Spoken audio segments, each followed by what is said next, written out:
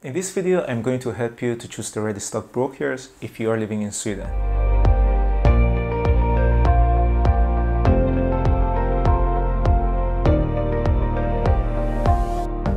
Hello everyone, thank you so much for taking the time to stop by and watch my video. In this video, I'm going to help you to choose the right stock broker if you're if you live in Sweden. Today, there are lots of stock brokers out there. You might have already seen ads on Facebook, Google, TikTok, YouTube, or elsewhere. With so many ads online, with literally hundreds of brokers out there, to get started, it can be very frustrating. And since you're watching this video, it tells me that you want to get started, but you don't know which platform to pick. Don't worry, I will explain everything in detail for you in this video. So please watch the video till the very end. The truth is anyone can open up a brokerage account. It's so easy, but it is very important to choose one that will reflect your investment style. For instance, if you are a day trader, you want to pick a broker with a very low execution fees. Sure enough, higher trading fees could take a big bite out of your returns. But whether you are a day trader or investor, there are several factors to consider when picking your first broker. Generally, there are three main factors. First, you have to consider the cost of each trade or investment. Second, the speed of execution, and the third, the safety of the broker. Let me to break it down for you. Low fees. This is a key for investing, where bid, ask spreads can take a big chunk out of your profit. Speed. If you're day trading, having it up to the second prices is extremely important. Any platform that has delayed pricing or too slow to process the data causes you to get into the trade late, which eventually will lead you to lose money. Safety. Always make sure your broker is fully licensed by state regulatory authorities and FINRA. And most importantly, registered with the SEC. In other words, you don't want to put your saving in a fear, then they take all your money and run away. So look before you leap. After researching and testing more than a dozen Swedish and international stock brokers such as Nordnet, DeGiro, IG, Avanza, TradeZero, Interactive Broker, eToro, and etc., I finally found the best ones, which I'm currently using myself.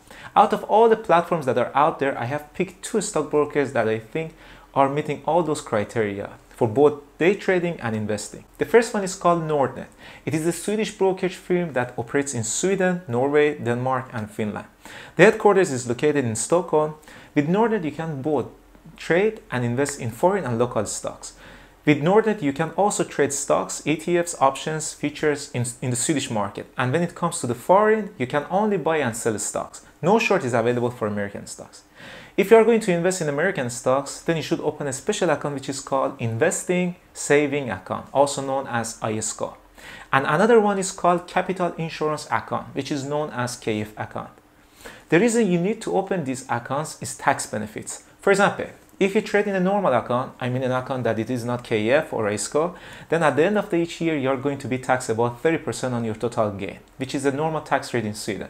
However, if you do all the process or purchases within a KF or ISK account instead, then your tax rate is going to be a whole lot less. On top of that, you don't need to declare your taxes yourself. Rather, Nordnet will do it for you. I cannot calculate the tax rate in this video because the amount will differ based on the government loan rate and other factors. But you can always look into that by searching on Google. I need to mention that I only use Nordnet for investing and not for day trading. And if you're going to invest in foreign stocks that pays dividend, then you need to open a KF account because only through that account you can receive your yields. The downside of having a KF account is you cannot have your capital in foreign currencies. In other words, you can only have your funds in Swedish currency. And every time you buy or sell foreign stocks, you have to exchange the money from Swedish krona to the American dollar and vice versa. When you want to sell, you have to exchange it back from the dollar to the Swedish krona again. And that will of course lead to a higher, uh, higher investing cost. And also for exchanging the money, you don't need to do it yourself manually. Rather, the Nordnet will do it for you automatically every time you buy or sell stocks. Just remember that when you put your money in the KF account, you cannot make any withdrawal within 365 days. Your money needs to stay in that account for a year before you can make any withdrawals. The commission. The commission with Nordnet is pretty high. They have no fixed rates. The more share of a stock you buy, the higher commission you pay. Generally, there are four different commission plans that Nordnet offers. You can sign up based on volume of stocks you purchase, and there are mini, Liten, and fast. Remember, before opening an account, you should ask yourself, how often do you want to trade or invest? If you're going to trade very often, then the Nordnet would be expensive. As you can see, the commission is quite high. However, if you still prefer to open a Swedish brokerage account over a foreign broker, then I would say Nordnet is the best choice for you. The second stockbroker and my absolute favorite one is Interactive Broker. They are ranked as the best stockbroker for international trading. They offer low commissions, high-speed executions, and a trusted platform. In fact, one of the safest platforms out there. I also found their platform is very professional and overall experiences was better than most other brokers. I'm using their platform for almost mm, three years now and I have never had any problems so far. I would hi highly recommend it. You can trade stocks, ETFs, futures, forex, options, mutual funds, warrants, CFDs, and bond in local and foreign stocks. You can also open margin or cash account. They offer low margin rates in comparison to other brokers.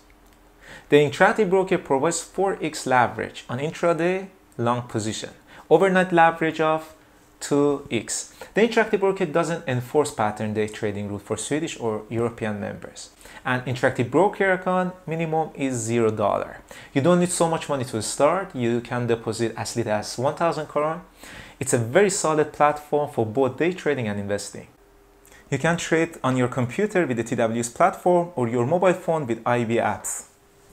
TWS or Trade Workstation is for more advanced experience. And if you can't be at your desk, then you can use IB mobile app instead. IB mobile app it does have a lot of advanced features that I really like. Highlights include simulated trading mode, currency converter, pre-installed watch lists, advanced charting tools.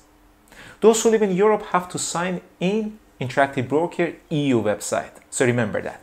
The only downside with IB is that you cannot have a KF or a ISK account and you're going to be taxed 30% at the end of each year, which is in my opinion is not as bad as it sounds. You get low commissions, which helps you to save a lot of money.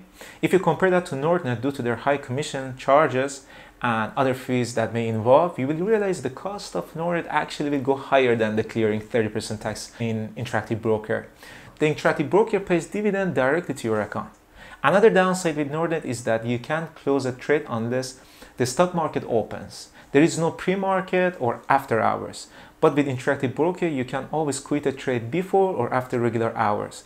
This helps you to close a position before the market opens. For example, if you hold a position overnight and all of the sudden bad news hits the company, you, you will have the opportunity to sell all your shares before the market opens. In that case, you avoid big potential losses. But in Nordnet, you don't have that advantage you have to actually wait till the stock market opens. That is not good because till the market opens, the prices may already tank massively.